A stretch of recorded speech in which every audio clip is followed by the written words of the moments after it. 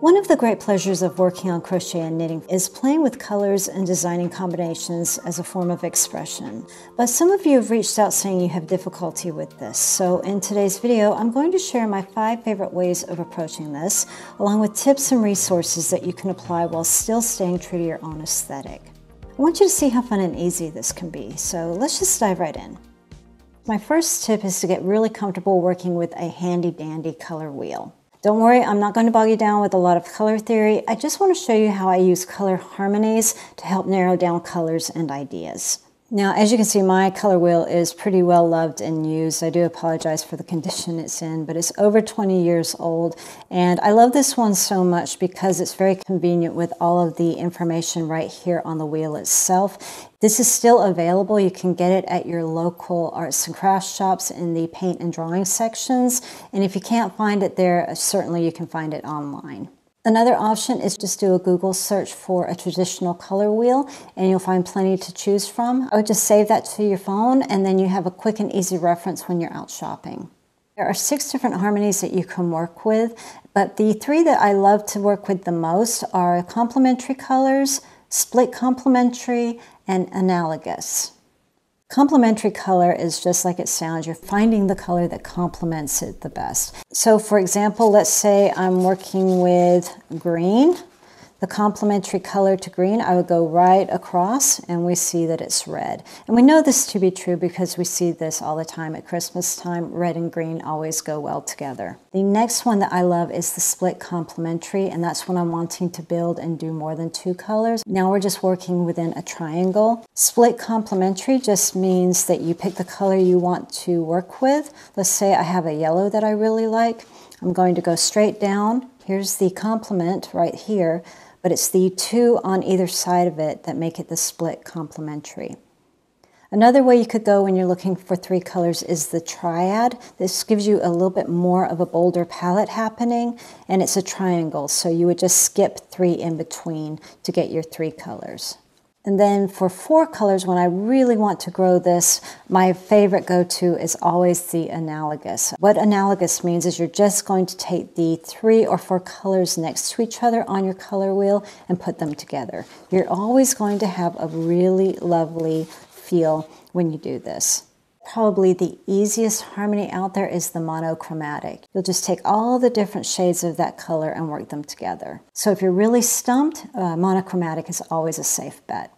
Tip number two, working with neutrals. Neutrals are great for pulling things together or keeping things cohesive.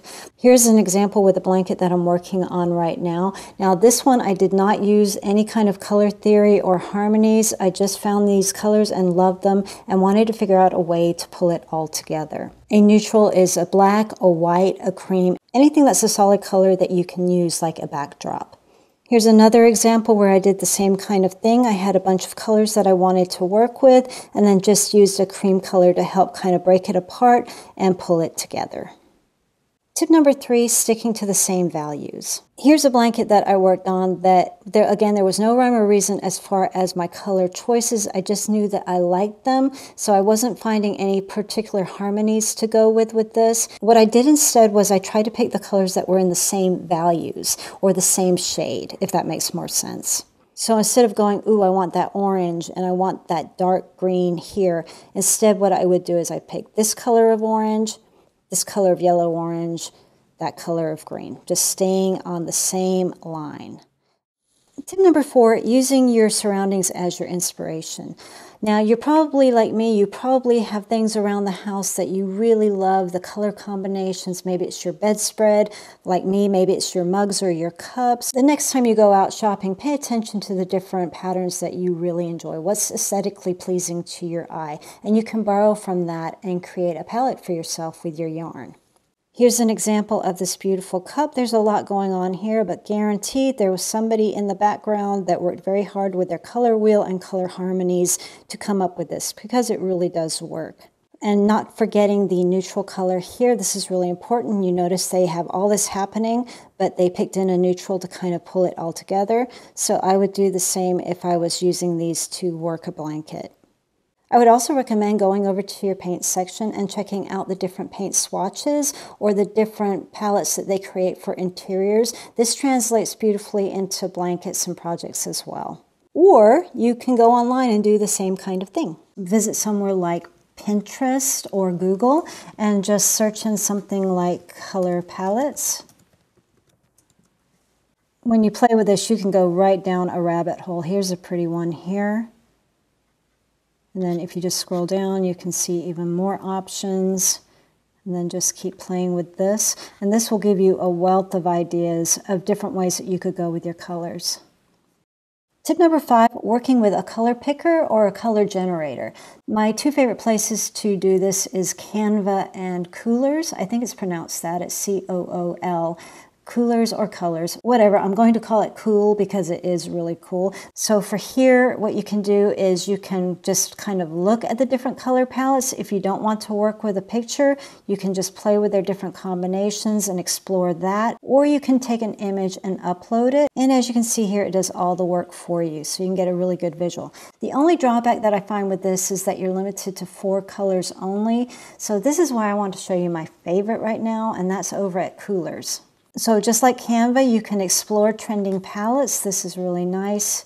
If you don't have a picture that you want to work with, you can just scroll and play around and just see what's available. Really lovely. Now, again, I'm using the free version of this. If you use the pro version, I think you can save these palettes. I don't bother with all of that. I just stick to the free section here and start the generator. So to get there, go to your tools and then scroll down to image picker. They already have a demo here and what it's doing is it's just pulling from the image and showing you the different colors to choose from. What I love so much about this is you're not limited to just four colors. As you can see here, it has five colors, but you can take it all the way down to two if you like, and you can increase it if you like as well. Look here, you can change the options here. It just goes into different portions of the photograph and you can just play and play with this and just settle on a color palette that you really love. And here you can upload your own image if you like. Here's just a little picture that I had on my computer. I didn't really think anything would come of it, but already it's showing me a really pretty palette. What I love about this is I would not have pulled out these colors on my own. I hope you're as excited about it as I am because I think it's just the neatest thing. So I hope you got some value from this video. If you did, a like is always appreciated. And if you do like videos like this, please let me know in the comments because I really do love creating tip videos for you guys. I always love hearing what you're working on or what you're struggling with. I hope there are some tips here that will inspire you and help motivate you to just play around and have some fun with this. Thanks for watching, everyone. See you next time.